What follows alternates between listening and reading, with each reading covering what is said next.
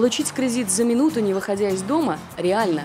Пока банки только готовят такое предложение, микрофинансовые организации уже вовсю выдают займы онлайн. Но с развитием финтеха появляются новые мошеннические схемы, распутать которые, оказывается, очень непросто. В нашу редакцию обратилась Диля Юламанова, жительница города Орск, Оренбургской области. Совершенно случайно она узнала, что является должницей МФО.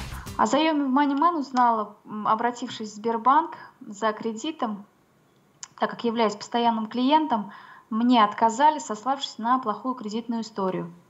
А, придя домой, я начала обзванивать банки, в которых брала кредиты, на что мне ответили, что все кредиты закрыты и задолженности нигде нету. Тогда Дили заказала кредитный отчет в Бюро кредитных историй и с удивлением обнаружила, что 13 декабря 2014 года мошенники от ее имени просили займы у нескольких МФО. Одна из компаний, MoneyMan, выдала злоумышленникам заем в размере 7 тысяч рублей под 425% годовых.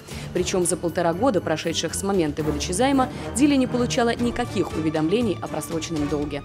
Наша героиня позвонила на горячую линию Moneyman, и ей подтвердили наличие задолженности. На вопрос, как именно оформляется заем, Диле пояснили, все происходит онлайн.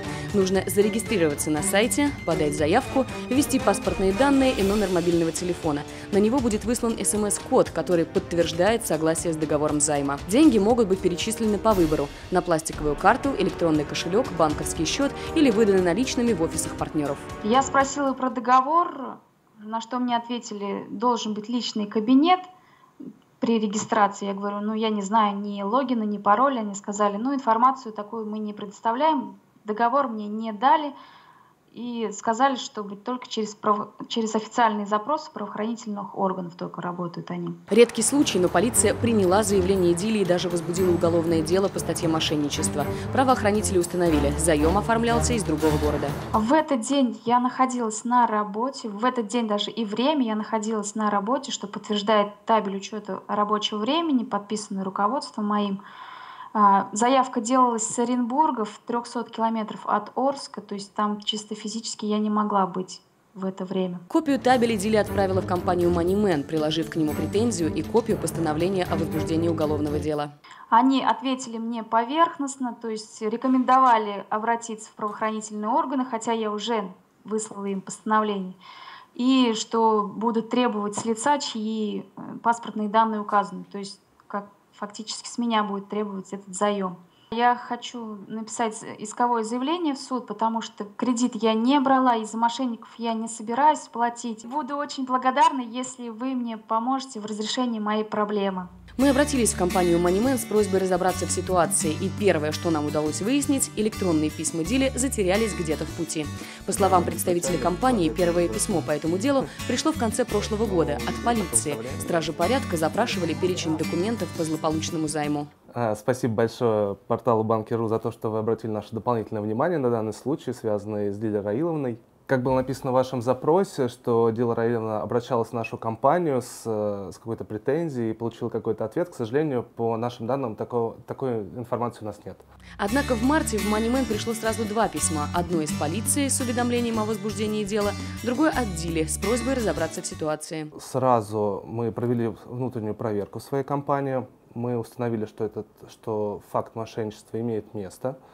А, все действия, связанные там, с работой коллекторского агентства относительно данного займа, были сразу же остановлены.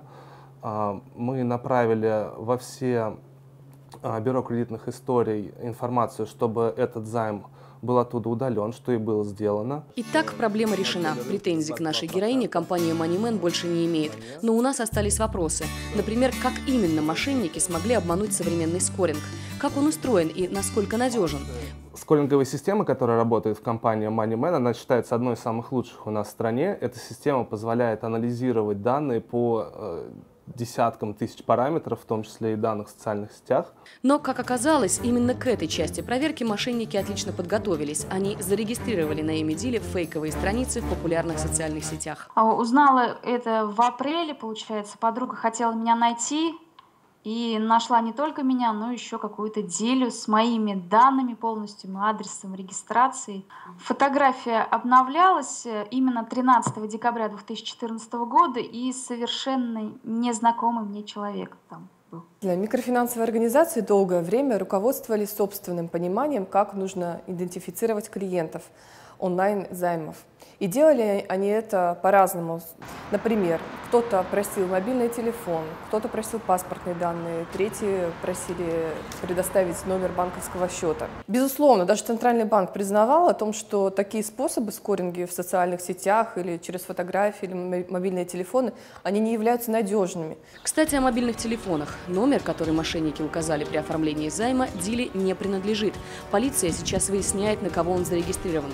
Представитель МФО уверяет, все телефоны пробиваются, но как именно, не уточняет. Безусловно. Все это проверяется, проверяется по определенным базам. Поэтому, видимо, тут э, речь идет о очень профессиональном уровне мошенничества. Между тем, обозреватель банкиру Павел Шошин уверен, такая проверка невозможна.